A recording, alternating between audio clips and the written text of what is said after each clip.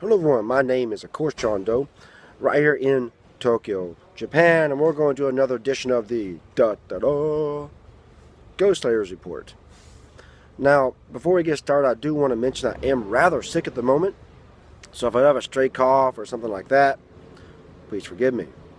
Now, what we're going to talk about is the recent ratification which went into effect here in Japan on April 1st of the Hague Treaty. I believe I'm pronouncing that correctly. If I'm not, of course, apologize.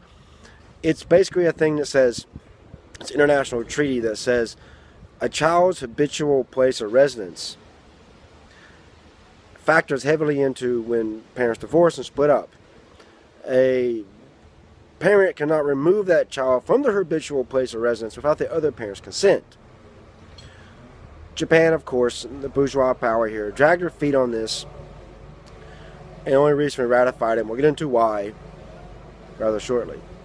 Now, to understand the problem here and why this is coming up is because a pamphlet was recently released to all the emissaries in, in across the world, the Japanese emissaries, to explain this to Japanese citizens. On the cover of this pamphlet was a foreign man beating his child with a little thought bubble coming up from the child thinking about his their mother who lives in Japan. What is that implying? Well, let's look at how things are. Now, for a long time, Japan wanted the bourgeois here in Japan wanted the following situation to continue to be true. They wanted to where um, if a Japanese citizen gets divorced in a foreign country, they can take that child back to Japan without the other parent have any say-so in it. On the other hand, they also wanted to be if the child was born in Japan and the foreign parent could not take that child back to their country of birth. Rather odd. You know, it's a, it's a double standard saying we can do it, but you can't. Doesn't work like that Japan.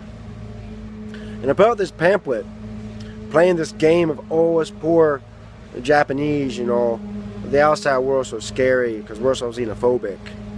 Like, you, know, you can only get a good deal on marriage if you stay right here in Japan is utterly ridiculous. And the Hague Convention negates both of those things that Japan wanted. So they very grudgingly signed it. So they, of course, you know the bourgeois have to save face here in Japan and continue on with this love, love your controlling class by saying, oh, you know, these foreigners, you know, implying that, you know, these foreigners, they tricked us into this. We, we had no choice, you see, but all you have to do is make sure you have the child in Japan.